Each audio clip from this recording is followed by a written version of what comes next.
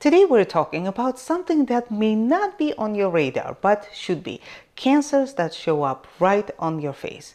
Why the face? Well, because it's always out there, catching sunlight every time you drive walk, or even sit by a window, and that should not be underestimated. Your face is like this front row seat to all that UV exposure, and over time it adds up, especially if you skipped sunscreen in your 20s, which is a lot of older patients in our clinic.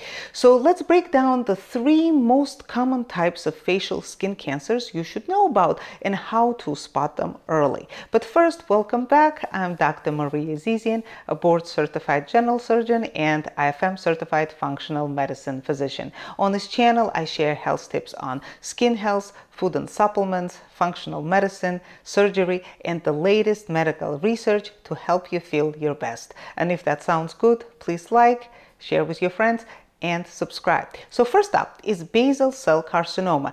And this is the most common skin cancer in general and on the face. And it loves sun exposed areas, especially on the face. It often shows up as a shiny bump on the nose or forehead, sometimes filled with little blood vessels inside, or a sore that keeps coming back and never fully heals.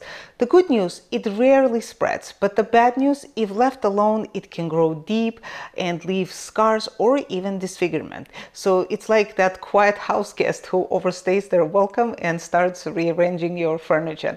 So next up is squamous cell carcinoma, and this one is tougher, rougher to sensation, to touch, and a little bit more aggressive. It may appear as this crusty red patch or a, a, thick scaly bump or again as a sore that doesn't go away. It tends to pop up on the side of the cheeks, on the forehead, on the lips, and unlike basal cell, squamous cell can spread to other parts of the body and lymph nodes if ignored. To use our overnight guest analogy, it's kind of like a guest who starts arguments at the dinner and then invites more trouble.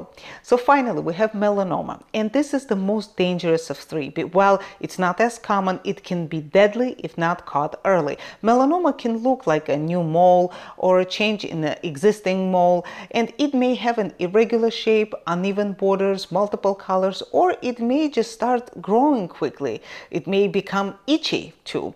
So the key here is knowing your own skin and noticing anything new or changing. And when in doubt, get it checked out. So how can you protect your face and your future self? Here are my top tips. Wear SPF 30 or higher to your face every single day. Yes, even if it's cloudy. Avoid tanning beds and intentional sunbathing. A tan today can mean a scar tomorrow. Get a full body skin check once a year and keep an eye on your own skin in between.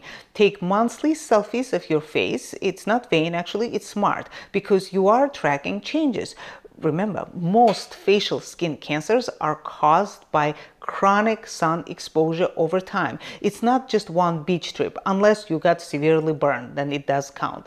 So, but usually it's cumulative. So the earlier you catch a skin cancer, the easier it is to treat. So show your face some love, protect it, check it and treat it well because your skin tells the story of your life. So let's make it a healthy one.